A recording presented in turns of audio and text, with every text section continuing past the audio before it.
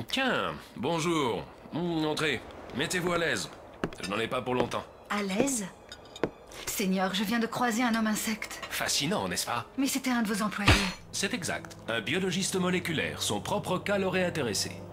Grâce à cette matière, les gènes qui contrôlent les caractères héréditaires se multiplient. Mais cette conséquence n'est qu'une infime partie de ce que nous pouvons tirer de ce matériau.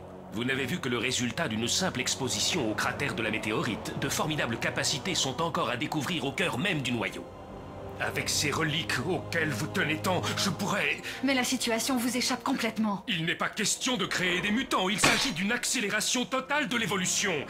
Un laboratoire à l'échelle planétaire au service d'une nouvelle race d'hommes. Mais tout le monde n'a pas envie d'être un rat de laboratoire avec ou sans troisième œil C'est bien dommage. On a tâtonné trop longtemps.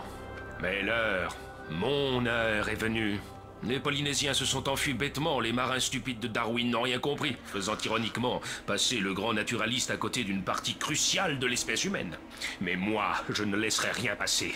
J'ai la clé du savoir et les pierres. Vous m'êtes tombé dessus en Inde et vous m'avez envoyé retrouver ces reliques. Vous m'avez ensuite amené ici pour écouter votre délire mégalomaniaque. Votre heure est venue, en effet, mais c'est celle de tirer votre révérence. C'est ce que vous croyez.